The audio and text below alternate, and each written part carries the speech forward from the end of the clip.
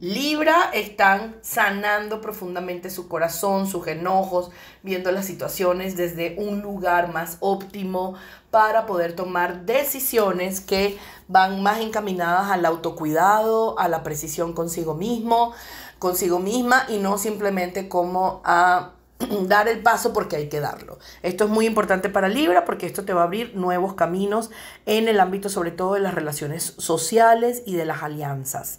Escorpión está también teniendo nuevos acuerdos con eh, sus negocios, viene prosperidad, viene resoluciones de negocios con acuerdos que van a ser mejor a lo que se tenían aspectado. Sin embargo, esa bonanza que viene, Escorpión, administrala bien, organízala bien porque la bonanza que viene está planteándose a través de tu creatividad.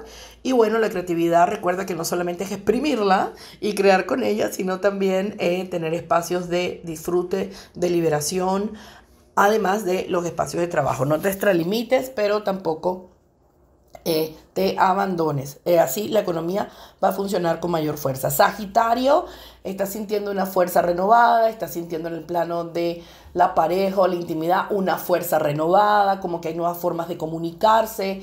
Para los Sagitarios que están solteros, están sintiendo una comunicación distinta con su propio ser interior. La energía de este eclipse para Sagitario les va a traer una renovación interna importante para salir de temas del pasado con una energía de bondad, de generosidad, de precisión, de alegría y de profunda justicia divina que va a ser la sensación interior.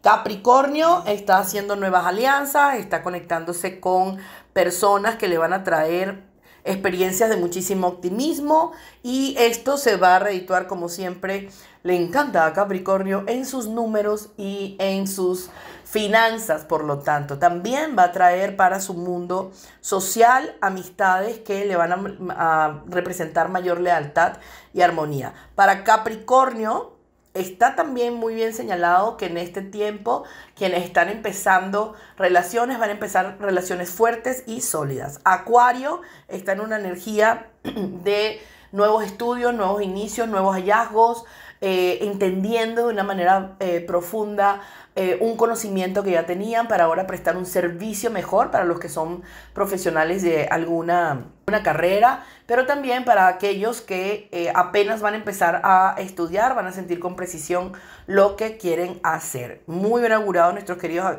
acuarianos y finalmente Pisces está en una energía de atención, de amor hacia sí mismo, eh, relacionándose de forma distinta con sus recuerdos y sus memorias, dando un paso hacia adelante y dándose oportunidad.